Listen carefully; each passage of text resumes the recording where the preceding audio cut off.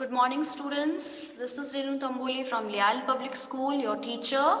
So, students, today what we will do, we are going to do revision, revision of this chapter. Revision of this chapter, chapter number nine. Things around us. Things around us that means कि ऐसी चीज़ें जो हमारे चारों तरफ़ present होती है. Okay and what which type of things are present around us कौन सी, कौन कौन सी तरह की चीज़ें होती है जो हमारे आसपास क्या होती है? प्रेजेंट होती है। ओके लाइक लिविंग थिंग्स होती है नॉन लिविंग थिंग्स होती है ओके लिविंग थिंग्स में क्या ले लेते हैं? जैसे कि example plants animals and human beings okay and non living things में?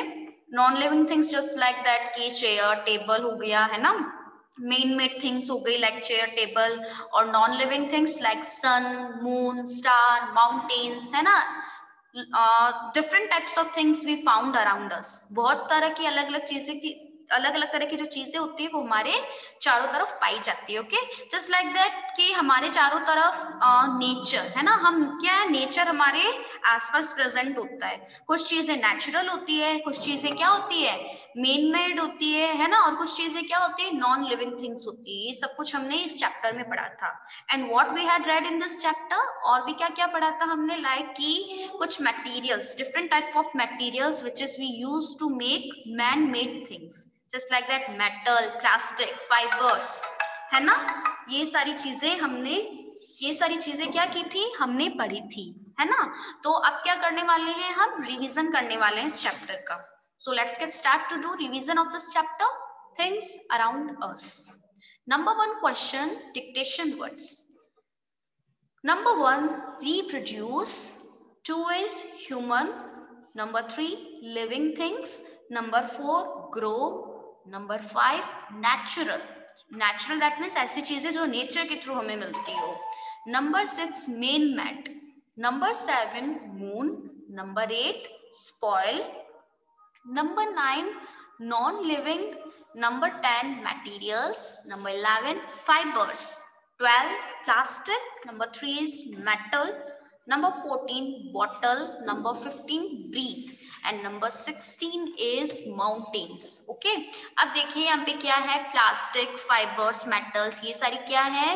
मटेरियल्स है जिनका यूज़ मैन मेड थिंग्स को बनाने के लिए करते हैं ओके माउंटेन्स क्या होते हैं? High hills are called mountains breathe we need air to breathe है ना? मतलब सांस लेना। बॉटल क्या है? एक थिंग होती है। नॉन लिविंग थिंग क्या होती है? Things those have not need to eat breathe है ना एक्सेट्रा मटेरियल्स का मैंने आपको बता दिया चीज़ें है ना? मून क्या हो गया बेटा? मून है natural non living thing okay soil भी नेचुरल नॉन लिविंग थिंग है. मैन मेड मतलब जो मैन ने बनाई हो. Natural somethings that we get from nature grow that means क्या होता है? बढ़ना ओके साइज़ इंक्रीज होना. And living things living things मतलब कि uh, things such type of uh, they need they can also feel, okay? And human human मतलब जैसे मैं हूँ, आप हैं, हम सब, okay? Reproduce that, जैसे कि किसी भी चीज़ का वापस से क्या करना? किसी चीज़ को यूज़ में लेके फिर जब वो वेस्ट हो जाती है तो उस वेस्ट मटेरियल से ही हम क्या कर सकते हैं? नई चीज़ बनाने में उसका यूज़ कर सकते हैं। That are called reproduce okay next question देखिए fill in the blanks number one sentence ball and chair are dash things अब बताइए बॉल और चेयर कैसे थिंग्स होती है? Non living okay number two paper and pen are dash things paper और pen किसने बनाए हैं? मैन ने बनाया है तो आप यहाँ पे मैन मेड लिखेंगे। Number three dash and moon are natural non living things अब देखिए मून है एक नेचुरल नॉन लिविंग थिंग और दूसरा क्या लिखेंगे हम? सन सन मून दोनों क्या है? नेचुरल थिंग्स है बट कैसी? नॉन लिविंग थिंग्स है। नॉन लिविंग मतलब इनको खाने की, सांस लेने की कोई ज़रूरत नहीं होती है। ये गॉड गिफ्टेड होते हैं नेचर में ओके नंबर फोर देखिए dash are natural living things आप यहाँ पे देखिए क्या लिखा हुआ है? एनिमल्स आप एनिमल्स की जगह क्या लिख सकते हो? नेचुरल लिविंग थिंग्स आप यहाँ पे प्लांट्स भी लिख सकते हो okay animals are natural living things number five balloon and eraser are made of rubber balloon और इरेजर किससे बने होते हैं? R U double B E R rubber से बने हुए होते हैं। क्वेश्चन थ्री देखो ट्रू और false number one we see only non living things around us हम क्या अपने आसपास सिर्फ़ नॉन लिविंग थिंग्स को ही देख सकते हैं? No it will be false because we see all around us living और नॉन लिविंग थिंग्स ओके और मैन मेड थिंग्स को भी हम अपने आसपास देख सकते हैं। All animals are living things true जित एनिमल्स सभी लिविंग थिंग्स होते हैं? Yes number three sun water clouds and air are natural things क्या sun water clouds air natural things होती है? Yes, क्योंकि हमें ये सारी चीज़ें नेचर के थ्रू मिलती है. Number four all natural things are living things क्या सारी जो नेचुरल थिंग्स होती है वो लिविंग थिंग्स होती है? No it will be false जैसा कि मैंने आपको बताया सन मून स्टार माउंटेन्स ये नेचुरल थिंग्स है नॉन लिविंग नेचुरल थिंग्स होती Okay, so we can't say ki all natural things are living things. So it will be false.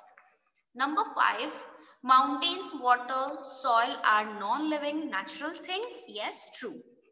Okay. Now question number four, name them. Number one question, all living things are natural things. Number two, things that breathe, eat and grow, living things. Number three, things that do not breathe, eat and grow, non living things ऐसी things जो क्या नहीं कर सकती? Breathe नहीं कर सकती ईट नहीं कर सकती ग्रो नहीं करती नॉन लिविंग थिंग्स होती है। और इसी का just opposite living things okay eat breathe और ग्रो जो क्या कर सकती है थिंग ईट ब्रीथ और ग्रो करती हो living things clear number four things that are not made by man ऐसे थिंग्स जो किसने नहीं बनाई हो? मैन ने नहीं बनाई हो। नेचुरल थिंग्स और इसी का opposite things that made by man जो मैन ने बनाई हो man made things next question number five name the following number one two natural things two natural things के नेम लिखना है soil water number two two man made things book chair number three two materials use for making man-made things. Plastic. And number two is iron, okay? Materials लिखना है जिसका use things बनाने में करते हैं मैनमेड प्लास्टिक प्लास्टिक से क्या क्या बनता है? बॉटल बन सकती है है ना? बॉक्स बनते हैं। और आयरन से भी क्या अलग अलग तरह के इंस्ट्रूमेंट बनते हैं। Number four two objects made of wood दो ऐसे ऑब्जेक्ट जो किससे बनते हो? वुड से, लकड़ी से बनते हो। Table chair two living things plants and animals human beings भी हो सकते हैं। अगर यहाँ पे थ्री कहता तो आप एक ह्यूमन बींग भी लिख सकते हो okay okay? Number six question, give answer in one word. Number one, which things do not breathe? कौन सी चीज़ है जो ब्रीथ नहीं करती? Non living things next two question what is called the things that we get from nature ऐसी चीज़ें जो nature के through हमें मिलती है उन्हें हम नेचुरल थिंग्स कहते हैं okay natural things number three what is all around us हमारे चारों तरफ़ क्या है? मैनी थिंग्स बहुत सारी चीज़ें हैं. Number four, what is called the things that made by man? Man made things. ऐसी चीज़ें जो किसने बनाई हो मैन ने बनाई उसे मेड कहते हैं हम।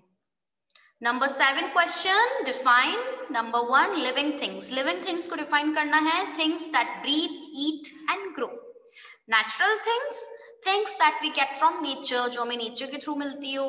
Man made things things that made by man जो किसने बनाई हो? मैन ने बनाई हो। Question number eight answer these questions आपको क्वेश्चंस के आंसर लिखने हैं। Question number one what kind of things do we find around us किस आ, क्या तरह की ऐसी चीज़ें हैं जो हमें क्या मिलती है? नेचर में हमें चारों तरफ़ प्रेजेंट होती है मिलती है। We find living things living things मिलती है हमारे चारों तरफ़। Non living things around us okay हमारे चारों तरफ़ कौन कौन से थिंग्स होती है? Living things and non living things number two what are man made things made of man made things किन चीज़ों से बनी होती है? मटेरियल से बनी होती है अलग अलग मटेरियल से वो मटेरियल्स कौन से हैं? Man made things made by man man made things कौन बनाता है? मैन के द्वारा बनी होती है। By using different materials like wood steel and plastic, etc. Okay. Number three question, which is the last question of today's class. Question number three, how are natural things different from man-made things? Natural things, man-made things से किस तरह से different है? because you know that ki jo natural things we get from nature or man made things man made things made by man okay answer read karte hain things that we get from nature are called natural things ऐसी चीज़ें जो हमें nature के through मिलती हो, उन्हें हमें natural things कहते हैं। And things that are made by man और ऐसी चीज़ें जो मैन ने बनाई हो are called man made things okay so students to we completed also revision of this chapter chapter number nine which is about things around okay so do revise it and yes if you have any query you can contact to your teachers Till then, take care. We will meet in our next class. Bye bye.